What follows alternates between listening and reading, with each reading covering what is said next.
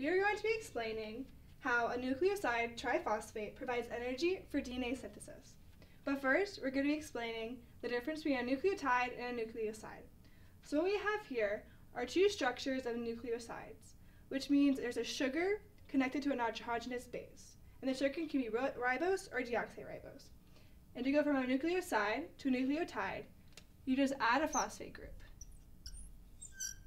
And to go to a nucleotide to a nucleoside diphosphate, you add two phosphate groups.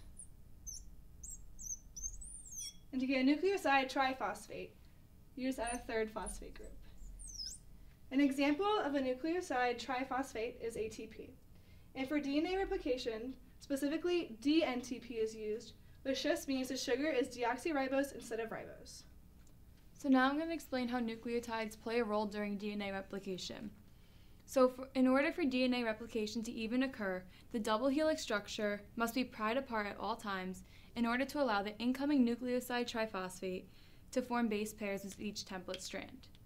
An incoming nucleoside triphosphate forms a base pair with a partner on the template strand, which is down here on the bottom. The nucleoside triphosphate is covalently attached to the partner-free 3' hydroxyl on the growing DNA strand, which forms a new DNA strand synthesized to the 5' to 3' direction. The hydrolysis of a phosphate bond in the incoming nucleoside triphosphate is energetically favorable, and the release of the phosphate provides the energy for the polymerization reaction. This yields two molecules of inorganic phosphate. The nucleoside triphosphate bonded together is energetically unfavorable, so when a phosphate group breaks off, the molecule becomes a diphosphate and energy is released. Nucleoside diphosphate is more energetically favorable than nucleoside triphosphate.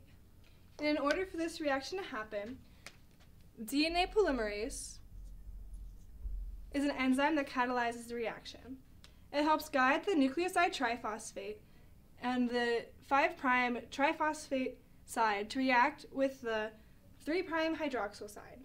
And as a result, an inorganic phosphate is released, and the nucleoside, the nucleoside triphosphate is now part of the strand.